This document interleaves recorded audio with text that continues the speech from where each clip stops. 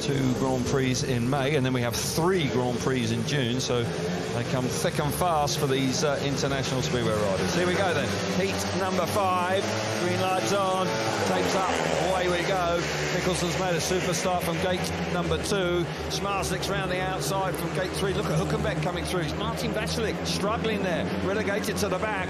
But Michelsen, who failed to score in his first ride, is out in front. Here comes Vaculik. Starting up the inside, but he can't make that move stick. Bartosz Zmarzlik now beginning to settle in second place, but this is better from Michelsen. Yeah, much better from Michelsen. He's had a change of bike for this race, launched off the start. I'll tell you what, Bartosz Zmarzlik is looking all around the track. He's had a look on the outside, he's having a look on the inside, he's looking for a Oh! cutback. But I tell you what, he can't leave a hole like that for Huckenbeck to come through. Huckenbeck's quick as well with Michelsen, with the change of equipment has made the right call here. A lap to go. He's being hunted now by champion. Vaculik's pulled up at the back. Desperate times for the Slovakian. But uh, Michelsen bouncing back after failing to score in his first ride. This will settle him down lovely.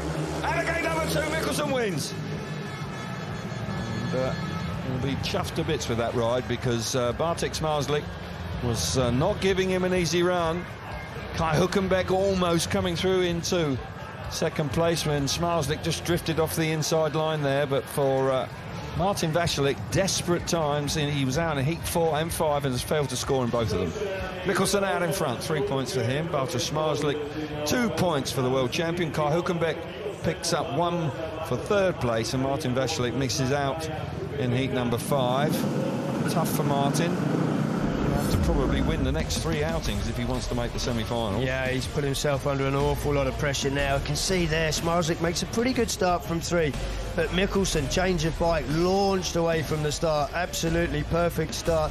Didn't actually, bike didn't move in his first one off the inside gate, but uh, this one seems to be working much, much better.